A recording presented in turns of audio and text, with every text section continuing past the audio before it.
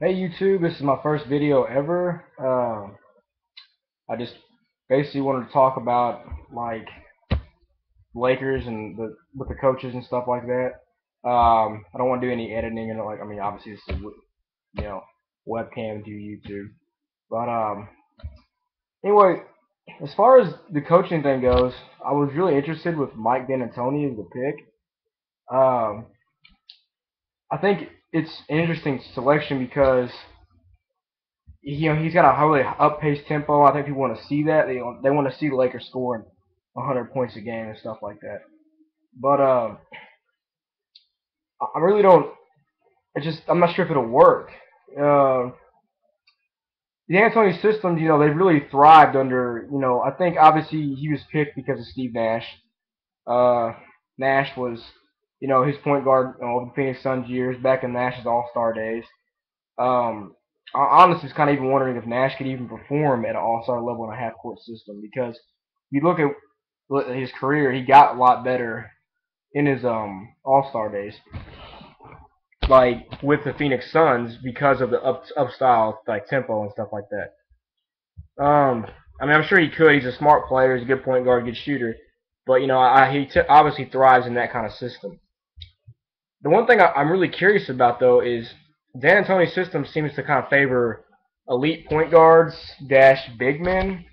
Um, you know, they if you look at the Phoenix Suns years, they had Steve Nash, Stoudemire, Sean Merriman, um, or Marion, and like that. You know, they they kind of had just just subpar wings. You know, guys that would shoot, play a little defense.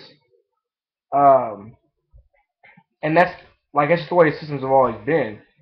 And in New York, you know, his last coaching, you know, last coaching thing was in New York, his stint, and he he did fine with, with a style like that. You know, with Ray Felton, who he kind of ran a similar system like that at UNC. Uh, you know, Mari Stoudemire, and then they added Carmelo Anthony to the mix, and things got more complicated. You know, it's it's just you know he basically got voted off the island by his own team. Um, and you know, he he's winged in was like Danilo Gallinari, you know, kind of a just a guy who'll sit out there and get you 15 points a game, shoot threes, solid player, can do a half court offense. So I'm just wondering if Kobe can thrive with D'Antoni as a coach, you know, or or if, if D'Antoni can have a system with a dominant wing player. Like I don't know, that's just never that doesn't seem like that's really part of his system ever. Um, obviously I think Kobe's a different player than Carmelo. Kobe, I think he's a better distributor distributor of the ball. You know, Carmelo's a gifted scorer. I mean, Kobe is too, but I mean, Carmelo can just do some crazy stuff. But, um, you know, Kobe can kind of do, he can kind of play off other people. He can kind of, or let players play off of him. So that that's one thing that could help. Uh, I still find it a little odd that Phil Jackson won the job and didn't get the job. You know, he's a proven winner. I think he's had 13 titles, two as a player. You know, I think I don't know what's six or like six, three, three, and then two.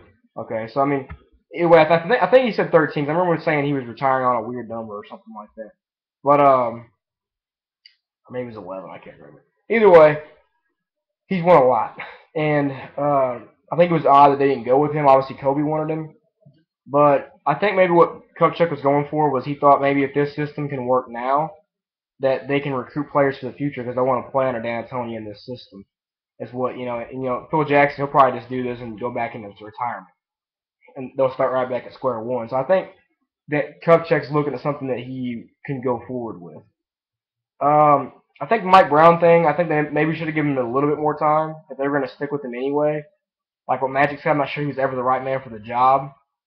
You know, I think, but he, you know, he kind of had a disclaimer before the season started. He said, you know, wait till January for this thing to really start clicking. And you know, I kind of feel like they should have given me a month or at least a month and a half, you know, to see some progress. Like, I mean, I understand what the, I think the Princeton style was a little weird because I've heard that's for a, I've heard that's a style for teams that don't have a lot of talent and they have a they have a ton. But I think that just I, I guess what Kupchak's probably thinking is, you know, this thing could literally be this year or next year. It, you know, Kobe and Nash are at the end of their careers. We don't have time to wait, especially with Dwight's contract thing up in the air. So he wants to win now. I can kind of see that, but at, at the same same time though, I think kind of contradicts. I think Phil Jackson's more ready to win now. So I guess maybe he's just trying to go for the best of both worlds. Maybe he thinks that now and the future with Mike D'Antoni. Anyway, I love talking sports and the comment. You know, if you're watching this video, please put stuff in the comment box. Tell me your opinions. Uh, I love to do that more than anything. That's why I started YouTube in general. Was you know I used to comment on. You know, I had another account. I comment on people's stuff. Anyway, um, please comment. Like to hear your opinions. And uh, until next time.